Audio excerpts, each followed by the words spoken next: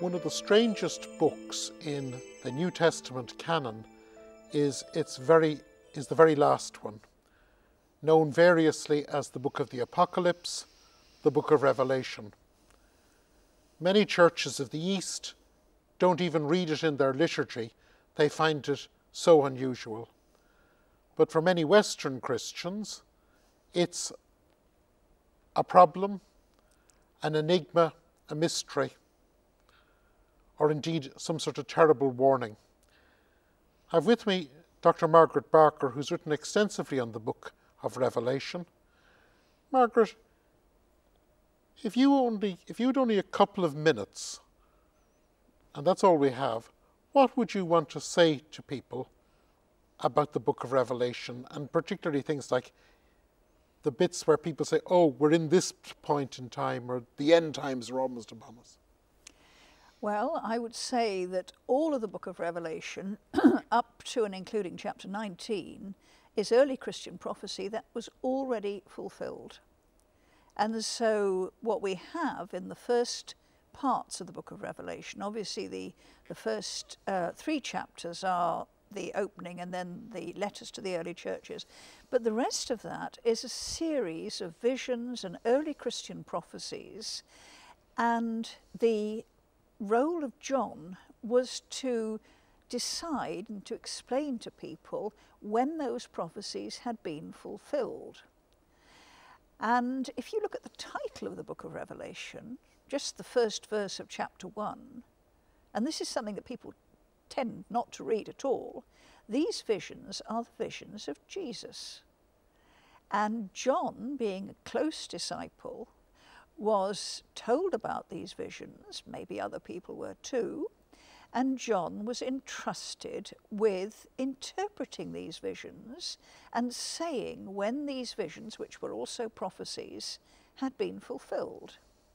And you have a summary of these visions in Mark chapter 13, Jesus teaching about when Jerusalem would be destroyed. So, in other words, when we read the book of Revelation, we shouldn't be talking about our future, no. but it's telling us about what we believe about the origins. It's the origins of Christianity. It's a very, very important glimpse into the first 40 years or so of the Christian community in its homeland and living through the terrible events that led up to the destruction of Jerusalem, the destruction of the temple, the scattering of so many people from their homeland. And these were the prophecies which they were, in effect, ticking off. So, in other words, it's them making sense of their past and their experience. It's not to be read uh, like uh, Mystic Meg telling us what's going to happen in 100 years, 10 years or 100 years Oh, time. no, it is not.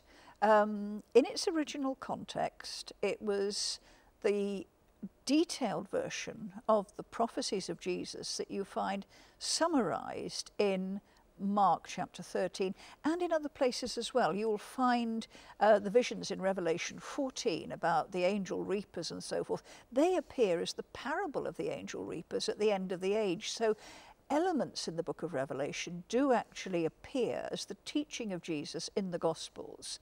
And this is why I suspect that summary of Jesus' prophecies, which you get in Mark 13 and also Matthew and Luke, you don't get in John's Gospel.